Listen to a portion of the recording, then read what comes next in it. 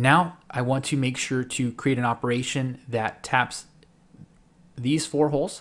So we need to start off with a drilling operation.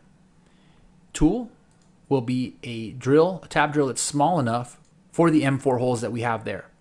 So I'm going to choose just drill by unselecting these other ones here, filtering out here, four to four. And actually, because it's a tap, I need to actually make it a three to four millimeter range because let's take a look at what I got. You can see here under the metric sizes, if I go far enough down,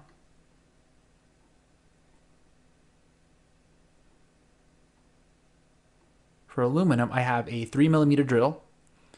I also have a 3.4 and for my Machinery's handbook, I'm going to go ahead and use the suggested, suggested tap drill size at 3.4.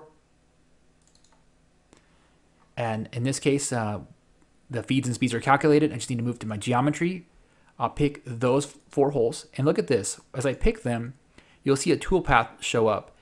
And I pick all four, you'll see it kind of reorients the, the order in which those are going to be fed. So it's going to go in here initially, go here, here, and then finally retract out of this last hole. I want to make sure that I also choose the right height for my uh, drill through. These holes are quite important, but they don't go through the whole part. So I want to make sure to avoid this whole drill tip through bolt bottom plane here. We don't need to worry about that. So that's pretty much it for this. I'll hit OK. And there's that toolpath. And finally, we'll just follow it up with a tapped hole. So I'll click on drilling again. I'll choose the appropriate tool.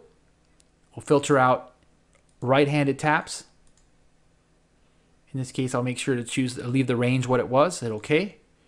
Under the ISO sizes, we have M4 with a 0.7 pitch, exactly what I want. So I'll go ahead and double click that. The geometry is going to be those four holes.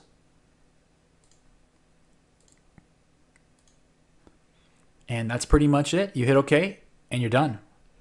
So let's just validate our entire part for fun. Okay, so I'm going to go ahead and choose all of these toolpaths in the first setup. I'll right click, I'll simulate it. Again, I'm going to hide the stock body or the uh, final cut body from our tree here. So we're just looking at the stock under the simulation dialog box here. And we'll make sure that we're just showing the tail of our toolpath to keep it clean. We'll play this. And as you're these can take a while, so just go ahead and fast forward the operations. And that's the end of the first setup. So I'll close that. Now I'll go to this one and just go ahead and generate those toolpaths and then simulate them. So we'll flip this around. Now one thing you'll notice though is in this second setup, you don't see the results of the first setup.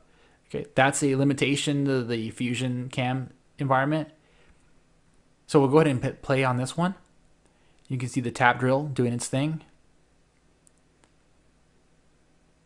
And then finally the tap going through and finishing out that threaded hole. And that's it. All right, let's wrap this up. I'm going to show my final cut body one more time and make a few last points. Now we covered a lot of material here. We made setups and we made toolpaths. If you weren't able to keep up with us the entire time, no worries.